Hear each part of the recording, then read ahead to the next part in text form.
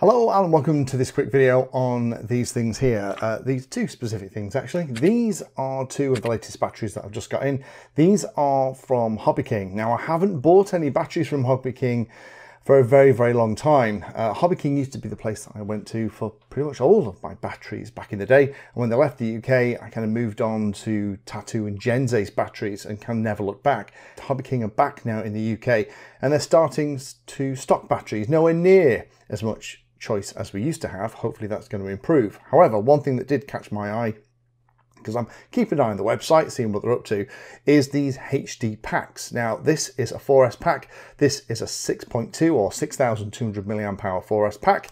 This is a 6S pack. Now, I've got the 6S one specifically for that Heewing T2 that I like to fly. It will easily take this kind of pack. It's quite a chunky pack. I'll talk about uh, the weights and dimensions and things in a minute.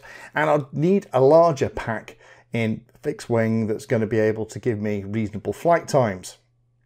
Now, historically, I have really liked things like the Gensace stuff. Uh, so, for example, the R line for the quads is particularly nice. The version 5 I'm a big fan of. This 1400 150C milliamp hour pack I really love. But also things like this bashing pack. This is a 5000 Gensace 60C milliamp hour pack.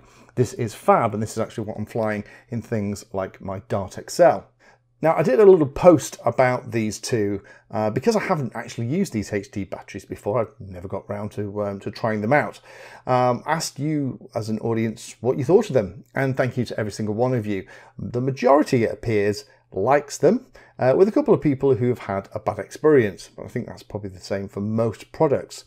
So I'm going to be testing these over the next two months. However, I thought it would be fun to just kind of answer those questions that a lot of people have already asked.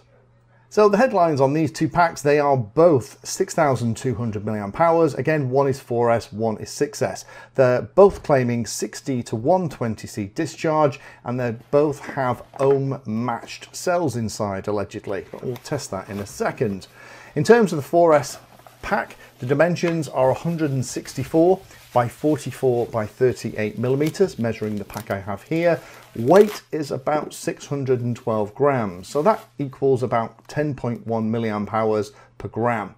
The 6S is a little bit bigger, naturally, has six versus two cells, so it's a couple of millimeters longer, 166 millimeters by 44 millimeters. So I'm guessing they're using the same cells in both, but it's 55 millimeters versus the 38 millimeters.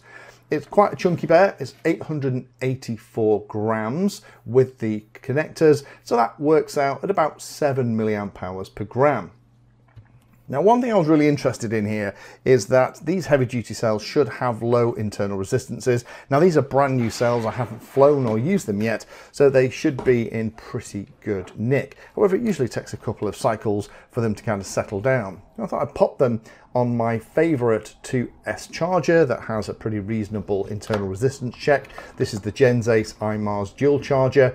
The 4S pack was showing 2.3, 1.1, 4.6 and 1.4 milliohms.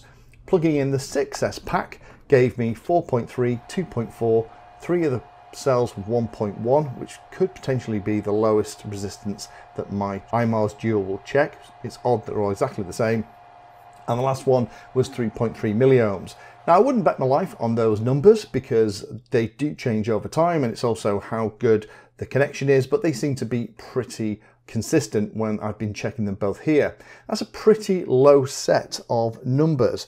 And I wondered how it would compare with those other packs that I talked about, the Tattu R-Line and the Gensace Bashing. So I popped them on the same charger while I had it all set up.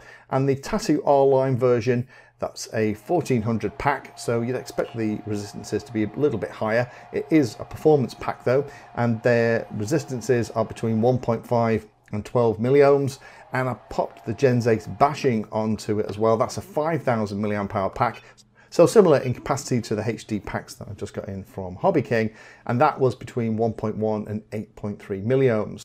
It is interesting that the readings from these things in terms of the internal resistances do seem to be pretty close and they all seem to be pretty low. So fingers crossed I've got two good ones here and when I go and kind of use them in anger, they're going to work well. But stay tuned. I am going to put these through their paces through this next flying season and I'll keep you updated on how they perform, whether they puff up and how they survive being used in the field.